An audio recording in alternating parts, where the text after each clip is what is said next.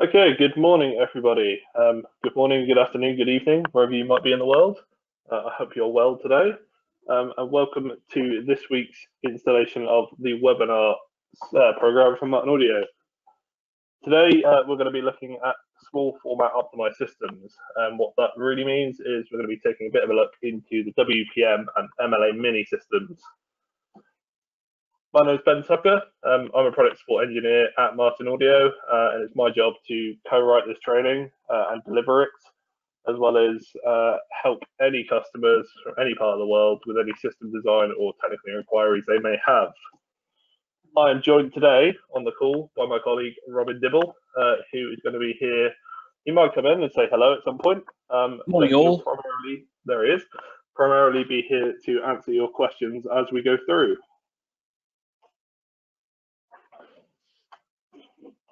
So, um, optimized systems, uh, where did this all start? Um, so we've been working on uh, mechanical and digital optimization arrays for over 10 years now. Um, our solutions are the definitive on the market and on, uh, on the market uh, and offer unique solutions that no other manufacturer can deliver. So what we're trying to achieve with these optimized solutions is uh, SPL profile control across your audience area, leakage outside of the audience, the smoothness of the coverage. Um, we have this wonderful tool called Hard Avoid. Um, and really what we're trying to do in all of this is remove the trial and error approach of designing systems.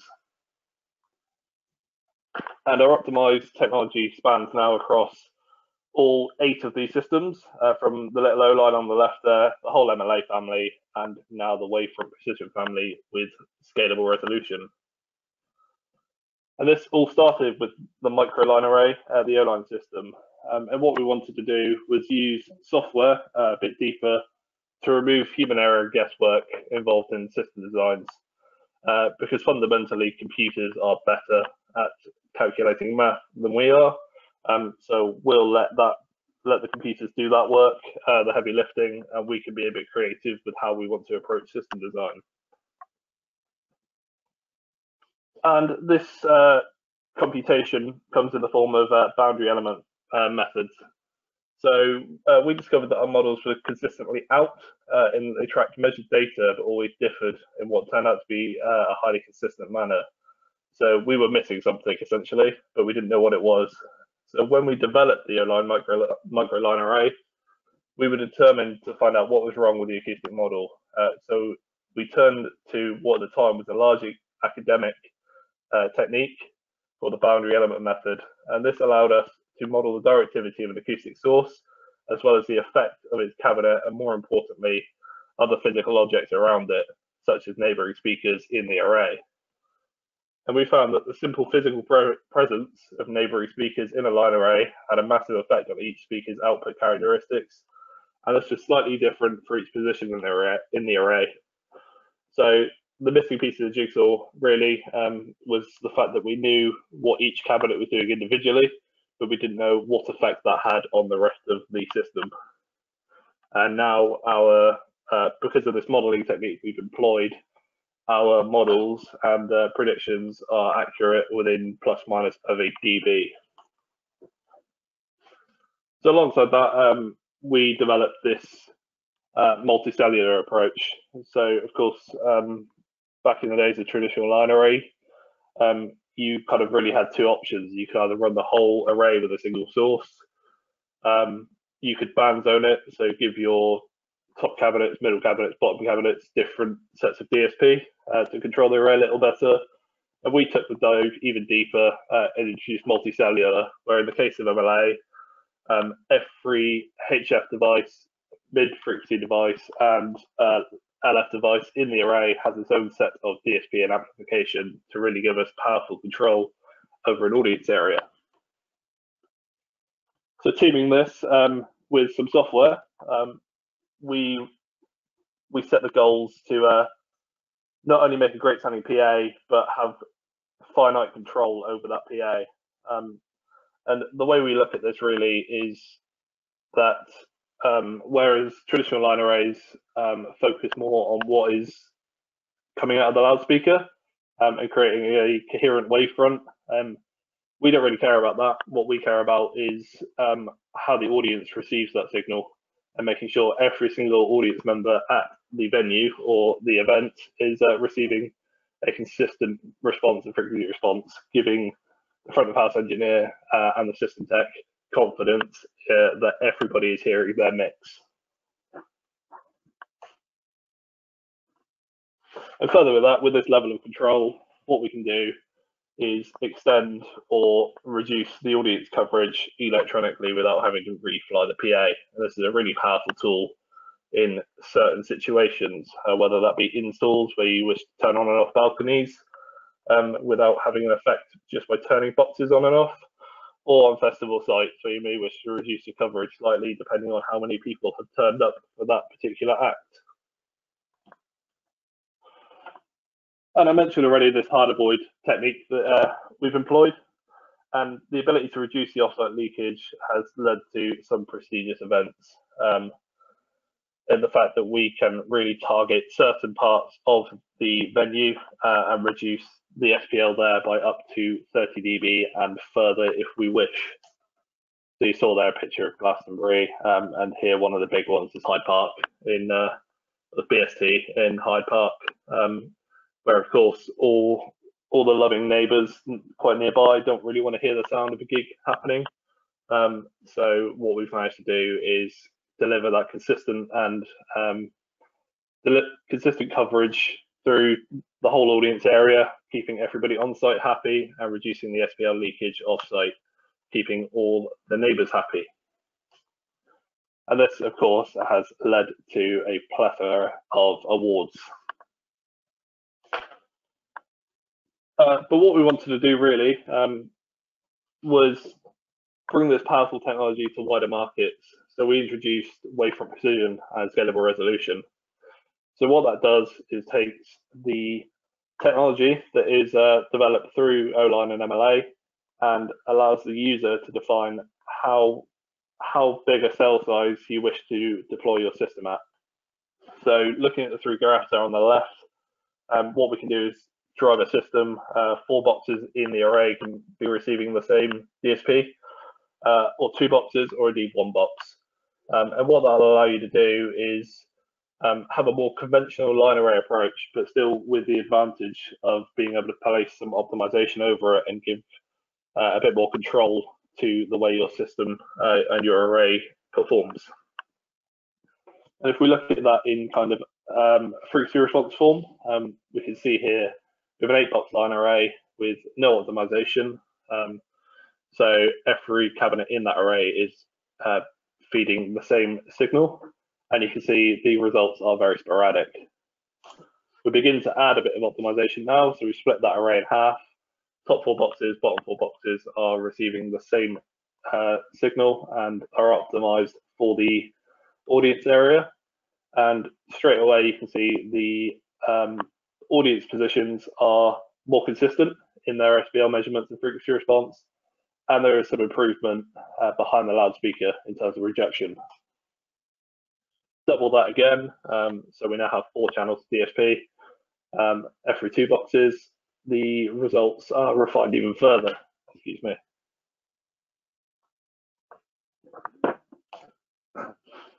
And up to one box resolution where every cabinet in that array is uh, being fed its own DSP. Um, we really do have finite control over an audience area there, and we can see um, throughout the audience the the results are really tight, and the response, the relative response, we should say, is um, is really consistent. And behind the loudspeaker, we're getting great rejection right the way through the frequency band. So this ties in to our small format systems um, because both MLA Mini and WPM are optimized uh, systems, and these guys are the babies of, the, of their respective ranges. So the difference between them uh, really um, is the MLA Mini system uh, houses all of its amplification and DSP inside the MSX subwoofer. You can see at the top of the left-hand picture there whereas WPM uses uh, external amplifiers in our icon range. But both of these systems um, are scalable DSP, um, and they both have digital networking in the form of AES and the WPM system and any of our WP systems, uh, Dante. Their vertical coverage can be fine-tuned electronically. Uh, we can employ those hard avoid areas we spoke about. Um, and given their small form factor, um, they're really suited to small and medium events, corporate AV events, or additions to larger systems. Um, we often find people using uh, MLA Mini or WPM as front fill positions or infill positions for larger to complement the larger systems in the range. So a little look into the speakers themselves now. Um, one MLA Mini system uh, comprises of what you see on the right there. So we have the four MLA Mini uh, enclosures on top and one single MSX subwoofer and power plant. And as I've said, that power plant houses all the amplification for the cabinets and uh, in the array, as well as, of course, a single channel for the sub. An MLA Mini can be deployed in a variety of ways. So we can fly it with or without the sub, we can ground stack it without the sub, and as you can see, we can pole mount it. Um, further still, those MSX modules can be pulled out the back, rack mounted, um, and MLA Mini is also supported on the Icon amplifiers. Speaking of which, we now move over to the WPM system. Um, so this is quite a simple, uh, simplified version in that you have the WPM enclosures. Um, you can pair a WPM system with any of our SX series subwoofers.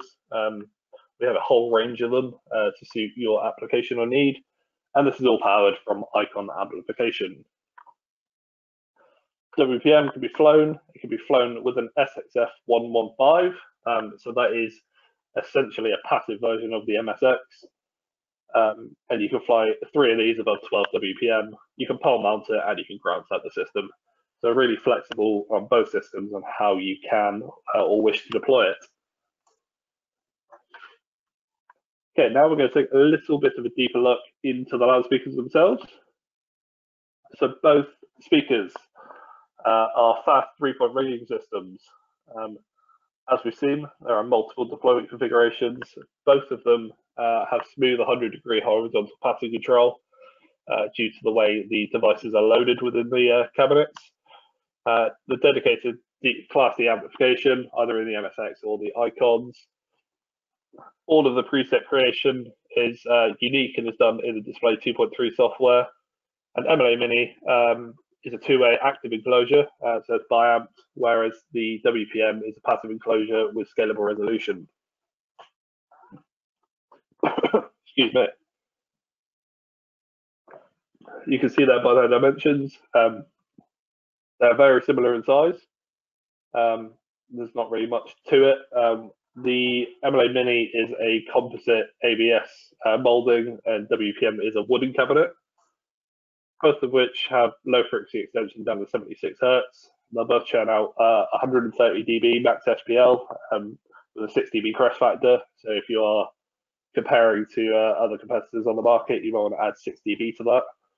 Um, we already mentioned the smooth horizontal um, 100 degree pattern control, and each cabinet is uh, achieving 10, de 10 degrees in the vertical and of course, this is array dependent depending on how many boxes you have and the intercabinet angles. And there's a whole, a whopping 0.2 of a kilogram between the weight of the two speakers. Um, so in the heart of it, uh, there are two six and a half inch contour diaphragm drivers, and they're located in the sidewalls um, of the horn. And each each driver uh, has a solid molded diaphragm which closely follows the contour of the wall and features a low diffraction surround.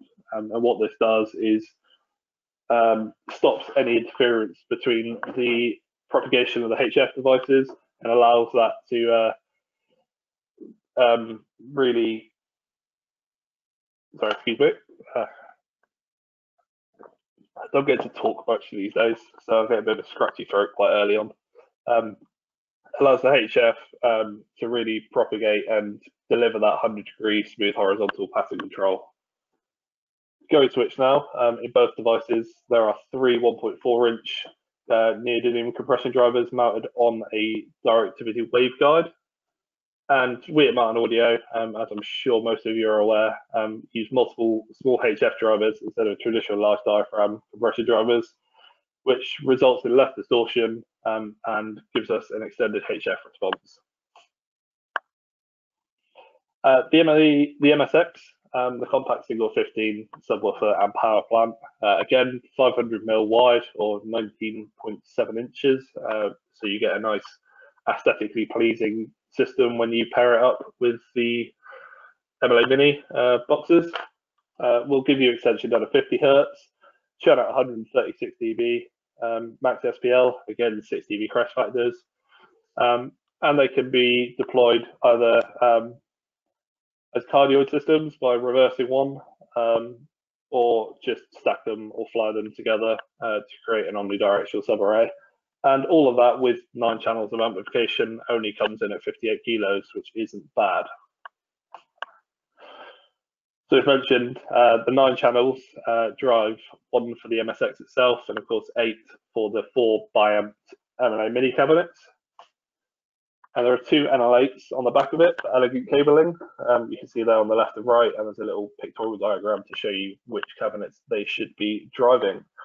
DSP on board, there's preset selection for a dedicated MLA mini system, more on that later. Um, and it features VU-NET or USB connection for control with our VU-NET software. We move over now and have a look at some of the offerings in our SX series. Uh, we have the aforementioned SXF 115 uh, on the left there, it's a single 15. Um, we have the newly um, released SXC 115, which is a single 15 inch cardioid subwoofer. Uh, that features a 12 inch driver in the back uh, and is a biamp solution, um, but offers great rear rejection and fantastic low frequency extension to complement a WPM system. And then we have the SX118 and SXC118, uh, the omnidirectional and inherently cardioid offering in a single 18 range. Of course, as well, uh, we have some dual 18s in the range. Uh, we have the SX218 and SXH218. Both of these can be used standalone with WPS, WPM system, sorry. Or what uh, we can do, it's quite common, is we can pair up a single 15 uh, with it to give a bit of low frequency extension and then chuck in a twin 18 sub to really give us those ultra low frequencies um, and turn the system into a three way, uh, which gives great um, great bandwidth and offers a fantastic sound to your audience. Okay, we're going to move into the rigging hardware now. And what you'll see is a large amount of similarities between first the MLA mini system. Uh, so we have flying frames, outriggers, poles, ground set bars, transition frames, and universal brackets, all of which will allow you to deploy your system in whatever way you like. And if we look at the WPM system, um, you'll see the first five did not change there. And that's because the SXF 115 uses the same flying hardware as the MSX, and the ground stack bars are identical for both systems. Um, really, the only the difference in the offering here is the WPM has uh, a dedicated touring or installation grid, um, and each have a slightly different transition frame as their front rear front mounting points uh, are located in slightly different places, of which we'll see now. So we've mentioned already it's a three-point rigging system. Um, so you have these front rigging points on the top of each cabinet and recesses in the in the bottom uh, of the cabinet so they can link together and pin together. Um, there's handles on the uh, sides, top, bottom, and back of an MLA mini cabinet and you have this little rear um, rigging link, which is the same for WPM systems. And what that allows you to do is select your angle um, by dropping out the bar and connecting it to the adjacent cabinet, which you can see that working there.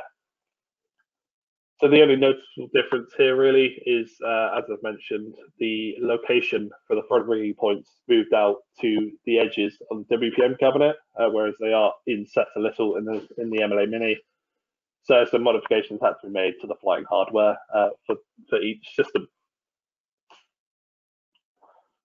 And this is that uh, touring frame we first saw. So it is the standalone frame for MLA Mini systems, uh, whether you're flying MLA Mini on its own with the MSX um, for ground stacking or flying, um, and you can use it with the SXF 115 as well. Um, so you place this on top of your subs and the transition frame underneath and fly 12 WPM under the three SXF 115s.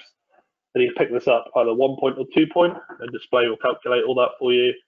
And there's an inclinometer mount for touring production. We can see it here um, being used to ground stack eight, eight uh, MLA Mini above two MSX. Um, and we've already mentioned that the flyby transitions directly from ground stacked MSX to MLA Mini. So the Mini transition frame, uh, as I mentioned, obviously uh, transitions from the MSX subwoofer to MLA Mini, and we can fly 12 of these below 3 MSX. And you guessed it, you can do exactly the same with WPM and the SXF 115. Um, and of course, again, the only slight difference being the location of the front points. And that comes in a whopping half a kilo heavier. So here we can see the MLA Mini system in action uh, with the MLA Mini grid on top, some subs, transition frame, and some WPM underneath. Then we have the dedicated touring frame uh, for WPM. Um, so all the kind of same options. You can fly with one or two points. Uh, there's an incline mount. There's a rear rigging point, front rigging points, and these little ground stack stabilizers, meaning you don't need to deploy that stability bar for um, WPM systems. Excuse me. And um, just a quick note about uh, all of our optimized systems. In fact, um, display uh, determines the height of the array um, from the top of the top cabinet in the array. So where we can see that orange angle there. And it'll also tell you the distance between the bottom of the array relative to the surface below.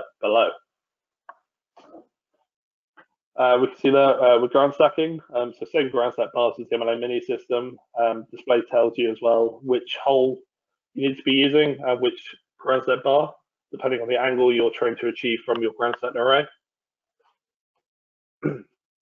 And then as well, we have an install grid for WPM systems, uh, which in most respects is identical to the touring version, but what we've lost here is the, excuse me, oh God. We've lost the ground stack stabilizers and the ability to ground stack. So this is flying only. And it's great for installations, or indeed, if you wish to be touring and you're never going to ground stack in your life, um, then this is uh, an alternative that you might consider. Finally, we have this wonderful little bracket, um, which allows you a whole host of different deployment methods uh, for up to four cabinets. So we can see there it being used uh, on a SCAF bar um, to suspend four cabinets, or we can turn it upside down, put a pole mount adapter on, and um, pole mount the system. Um, you can deploy it both um, with negative angles or positive angles, as we can see there. Um, and what we can do is really offer a wide range of small deployment options for small um, WPM systems. So this is fantastic for those pole mount situations where you just want to throw a quick PA up or for corporate events um, where you might have a limited weight on the truss bar and you're only flying a couple of cabinets, you can slap the universal bracket on with a SCAF clamp um, and you're out, out of sight, keeping everybody happy. Okay, uh, some configurations of the systems.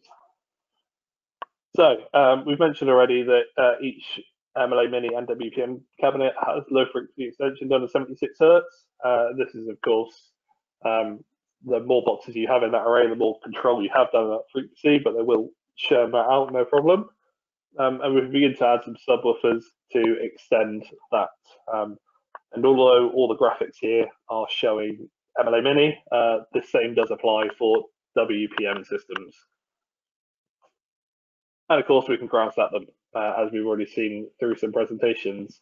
And one thing we haven't really talked about here is uh, the fact you can ground stack MLA Mini without putting a sub in between. Uh, so if you're mounting it on a stage apron, for example, um, and you don't want that additional height, uh, we can chuck the bar straight on the outrigger uh, and get your desired array aim uh, without having to add a meter, uh, which is great. Uh, and display offers a whole host of uh, ways you can deploy that. Sorry, VU-NET offers a whole host of ways you can deploy that, whether your subs are behind it, next to it, whatever. It will take into account all of that. Uh, one nice thing about the MLA Mini system, uh, it features six built-in presets. So on the back of the MSX there, uh, you can see my colleague Nigel's finger um, pushing a, a, an imaginary preset selection button. Um, and we can see on the right there some diagrams of how those presets are used. So presets one to three offer a pole mount solution for different coverage heights and uh, throw different throw distances. We have one for a uh, Grasnet system and options for flown systems, depending on how you are deploying your uh, MSX subwoofer with it. And you can simply toggle through and select those presets. The cabling between uh, these arrays are all the same for all presets. And the uh, audio input is set to analog in all of these cases.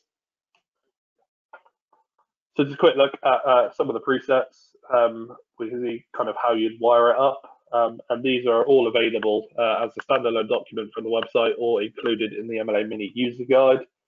Um, I've seen some people out in the real world um, laminate this and stick them to their flight cases so you can quickly see what you need to achieve to get a system up and running uh, with, without any software or anything like that and get a fantastic result.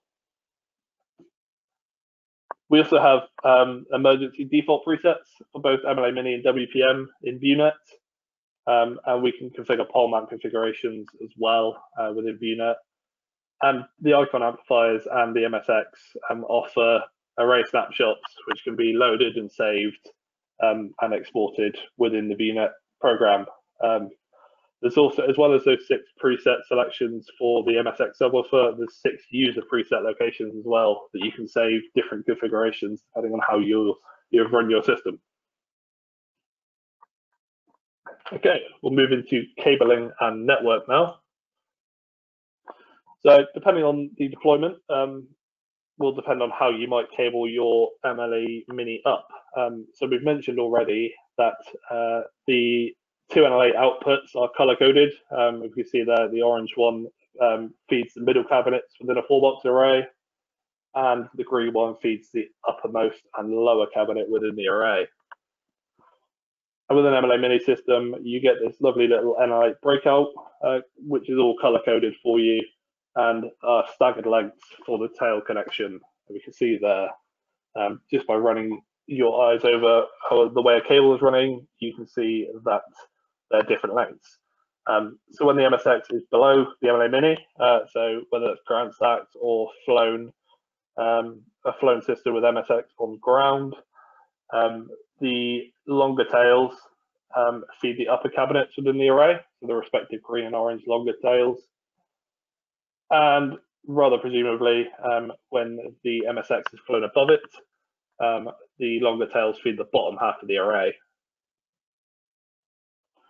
And if we want to deploy more than one system um, in an MLA mini array, uh, one thing we need to consider is the fact the MSX always follows the the MLA mini cabinets in that the top MSX in the array will feed the top four boxes, the middle one will feed the middle four boxes if you have a 12 box hang, and the bottom one will feed the bottom four. And you simply cable it in the same fashion all the way down, and there you have it, a nice optimized small format line array.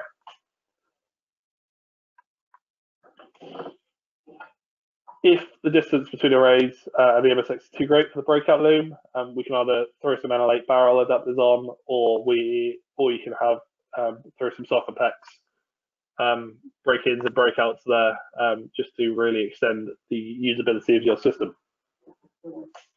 In terms of networking, um, the electronics in the rack uh, has audio inputs capable of either accepting analog audio or AES3.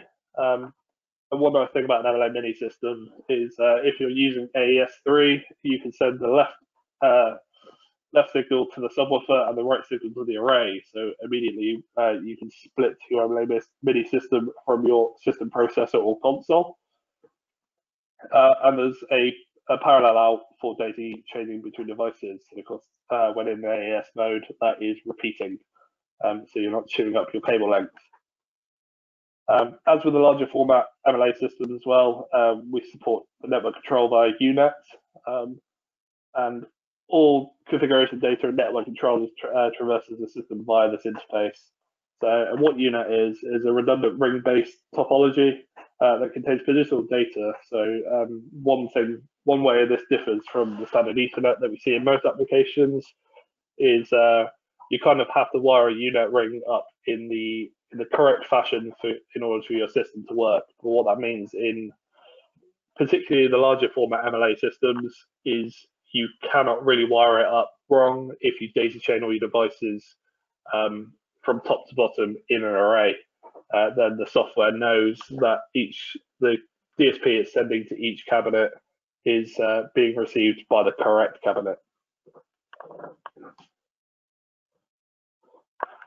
Um, the MSX also features a little mini USB interface uh, for convenient connection to a laptop or PC. Um, so if you don't have access to an Ethernet or uh, an Ethernet to UNet adapter uh, converter, you can plug in a mini USB here and uh, connect up your system, and then any uh, consequent device that's connected via the UNet protocol will be discovered um, and feed back to this mini USB port. And this is useful, um, again, in those small applications um, where you just want to get the system up and running. Uh, you can load an optimization from the display software. Uh, you can still access it in VU-NET, of course, and make any changes you wish to. Um, and I've mentioned already, devices can still be linked. And of course, what you can do is uh, plug in a USB server, um, such as the Silex DS510, which is on our price list, uh, which bridges the USB connection onto a standard Ethernet network. Um, so also alleviating the need for a UNet to Ethernet adapter in smaller systems. So we'll just have a quick look now at some examples of uh, how these systems might be configured. Um, so this first one is two small systems uh, with a USB connection from a laptop to one system, and then a link across to the next one via UNet. And we can make that redundant by putting another one in and uh, closing the loop. In a larger system, uh, we may wish to deploy uh, the Merlin processor, um, which is a 4 in 10 out audio processor that also features a UNet to Ethernet um, conversion in it. Um, we also have our UHub as well, um, which takes away that DSP processing and just gives you the conversion tool between the two protocols. And again, we can make that redundant by uh, returning back to the system. WPM, uh, much more conventional, um, and those of you that have spent time with traditional line arrays may uh, find this a bit easier to read. Um, simply has some amplifiers on the floor uh, and a bunch of NL4 coming out, uh, tailing off to anywhere you might want to go in the system. Um, so we have breakout cables for various solutions, um, NL8 breakouts, Socapex breakouts, uh, break-ins to NL8, um, because our distros either have uh, NL4, NL8, or our, our latest um, distro has a uh, link LKA 3225 multi-pin speaker connector on it uh, for driving 12 channels off an iK42 rack. Um, as well as short NL4 link cables for your array. Um, and you can see there on the right hand side, the PWA0057 is uh, a molded XLR cable with the rubber um, kind of weatherproof molding for inclinometers, which is perfect for outdoors. And all wavefront precision systems, um, or rather the electronics behind the wavefront precision system, has an Ethernet backbone. Uh, and this can be used to control load optimizations from display software and connect simply via an Ethernet connection to a laptop. Um, and all network enabled devices can be controlled on the same network. Um, I've mentioned already that the iKON series uh, have Dante, um, and that's redundant Dante as well, so it can be running primary and secondary uh, setups. And they all support static or dynamic IP addressing. And of course, um, we can expand these systems um, and integrate them both together. So maybe we have a large festival site uh, with MLA uh, or rather larger wavefront precision systems as our main PA. And we want to use some MLA Mini as delays or fills. Um, we can simply throw in either the Silex USB to Ethernet adapter or a Merlin or a U-Hub um, and convert that network traffic back to Ethernet and it'll sit happily on the same network as a wavefront precision system. Finally, uh, a quick talk about some software. So I've mentioned a few times through this presentation, uh, we have the Display 2.3 software. Um, and this is the proprietary software for MLA systems, wavefront precision systems, and O-line. So anything you can optimize is done via this. And what that does is numerically optimizes uh, to define cabinet angles and the DSP coefficients based on the venue coverage you have specified. Has a really straightforward workflow from venue design to the output. And the DSP coefficients for optimized arrays can be loaded directly to the arrays in the case of MLA, or the MSX in the case of MLA Mini, or iKON amplifiers in the case of wavefront precision systems. So step one, draw a 2D slice of your venue uh, on axis to the array and place uh, your array in the venue and define your basic audience coverage. Step two, refine that coverage. Um, so we can see there we have some tools uh, such as the SPL profile at the bottom right, which will allow us to set how much we want to um, target RSPL around the little yellow triangle in the center there. Uh, we have our hard avoid regions, our non-audience, uh, and our audience offsets. So we can have standing, seating, or custom up to six meters if you are Dutch. Uh, we can calculate display angles. Uh, so the software does this automatically and will produce the best acoustic output of the array. And then finally, uh, we hit the optimize, let the software run a load of algorithms in the background and a load of math to produce a set of DSP coefficients that uh, match the target goals we've set earlier on uh, and give us an exportable file that we can load into our devices. So that's nice and easy and really quick to go. So the benefits of optimization. Um, I mentioned the SPL profile tool, uh, and this is kind of what it's doing. So all MLA systems um, have a default profile delta of plus two minus three around this reference point. So if we leave that as standard, um, say for example we have 110 dB at that reference point, the software is going to um, ask the system to try and increase the SPL by 2 dB as we get near the front of the audience and decrease by 3 dB. And we can control that in any way we want. So we can drop off further as we get away. We can move the reference point and change the profile completely. Um, so we can move it right up near the front and gain a total SPL variation of 13 dB. Um, and it's really a powerful tool depending on how you wish to set your system up. Um, because of course, in applications where you might have uh, comedy events or spoken word, you may want a really flat response so everybody in the audience is hearing the same kind of level. Um, and that's a tool that Display offers um, and is extremely powerful. There are also uh, some environmental effects that are minimized, atmospheric pressure, temperature, and humidity, uh, which can have a massive effect on their high frequency propagation over distance. And display models uh, accounts for these losses and is critical to maintaining intelligibility and listener engagement, especially in medium to large venues. Um, so one thing to note there, and one thing that's often done on large festival sites, is the system tech will constantly be uh, referring back to a hygrometer um, to check the temperature and humidity settings of the festival site and constantly updating the the optimization preset and reloading it into arrays uh, when a dramatic change is made to ensure the uh, the array is performing at its best. We can see there on the bottom um, an example where it's not been taken into, into account and the HF is really dropping off quite early on. Okay, moving on to MLA uh, to VU-NET, sorry. Um, so every time uh, we deploy an MLA system or a WP system, um, we create this venue preset and load it in. So it's calculated the best possible array shape for the venue. It's delivering extremely accurate frequency response, controlling the SPL profile, creating multiple optimizations for each array, and there's no need to second guess. Uh, that kind of wraps up um, this uh, overview of the WP and MLA mini systems. Um, I'm sure a few of you might have had questions throughout this, which my colleague Robin has been answering.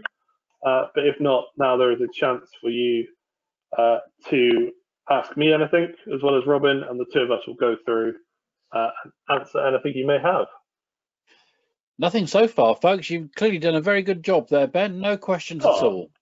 Thank you.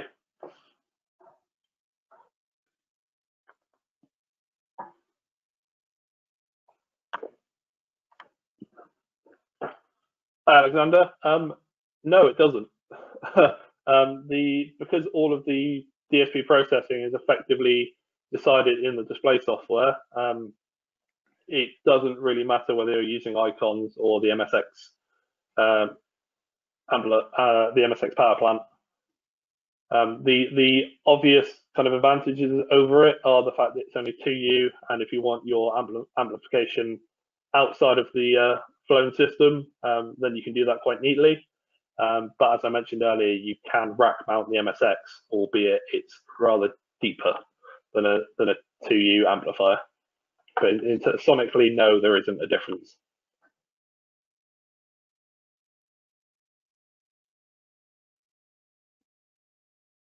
Any more for any more? Oh, well, you guys are quiet today.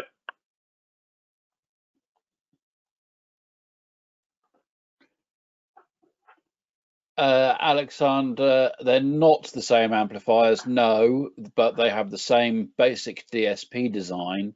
So you can upload the optimizations into the amplifiers in exactly the same way.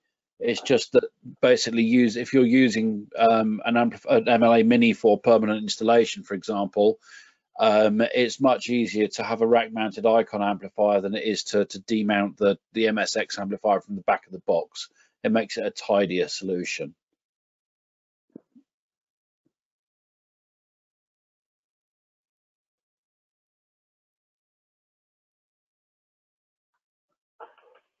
Well, I think we've either done a good job of presenting the overview of the two systems or I've bored you all to sleep.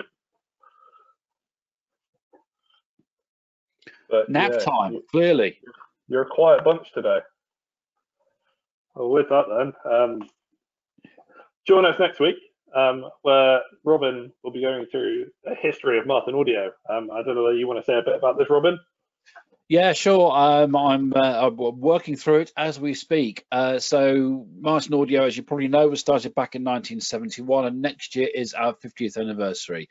So we're going to have a look at our products and our ethos and our way of doing things right from the beginning of the company right up to the present day with lots of really interesting pictures of old analog gear if you're sad like I am and like that kind of stuff. I'm saying nothing, but I will sure be tuning in to find out a bit more about our history. Um, if you guys have nothing else uh, to ask, um, you can always email us at technical at martin-audio.com um, and one of the team will get back to you pretty swiftly uh, with an answer. Um, but if that's it, I'm going to bring this to a close now. Uh, thank you for joining. Enjoy the rest of your day, evening, afternoon, wherever you might be, and stay safe. Thank you very much. Thanks all. Goodbye.